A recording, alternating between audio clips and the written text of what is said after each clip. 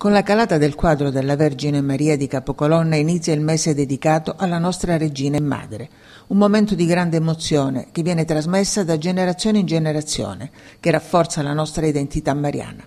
Purtroppo anche quest'anno la calata della Sacra Effigie di Maria è stata fatta a porte chiuse, un giorno, quello del 30 aprile, tanto atteso da tutto il popolo crotonese, ma il rispetto delle regole è fondamentale, per cui, per non perdere questo primo appuntamento mariano, usiamo immagini di repertorio, che sicuramente emozioneranno i nostri cuori, perché la nostra storia è fondamentalmente legata a questo mese dedicato a lei, la Vergine Maria. La madre di Gesù è il nostro punto di riferimento dopo il figlio e come vuole la nostra tradizione, nel momento di bisogno, di sofferenza di dolore, ci rivolgiamo a lei che ci accoglie tra le sue braccia, ci allatta con il suo latte misericordioso e porta pace nei nostri cuori. Maria di Capocolonna, Maria la Vergine Negra ma bella, Maria la patrona della nostra diocesi, una immagine cara a tutti che ha segnato nel tempo la nostra devozione sempre crescente. In questo mese di Maria la crotonesità diventa un percorso di speranza, di totale riconoscimento della nostra fede in colei che con il suo sì ha accolto la volontà di Dio e aperto le porte della misericordia all'umanità.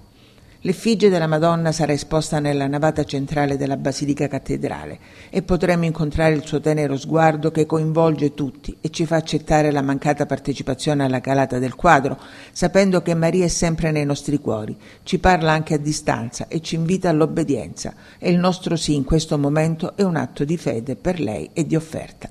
La Madonna, in questo periodo particolare, ci invita alla preghiera. Lei, madre del popolo crotonese, regina dei nostri cuori, è sempre con noi.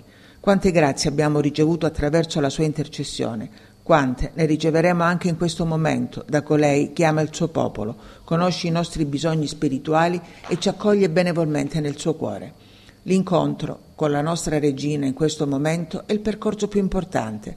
Ai giovani dobbiamo raccontare la storia della Vergine Negra ma bella. Il passaggio di testimoni in questo periodo tra generazioni è segnato da ricordi indelebili, ma anche di preghiera e di fede.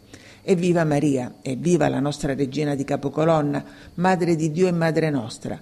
Abbi cura dei tuoi figli, del tuo popolo che con grande devozione si affida alla tua maternità e alla tua grazia. Nonostante tutto, continua il suo cammino con te, il percorso di fede alla tua sequela per incontrare il Cristo risorto.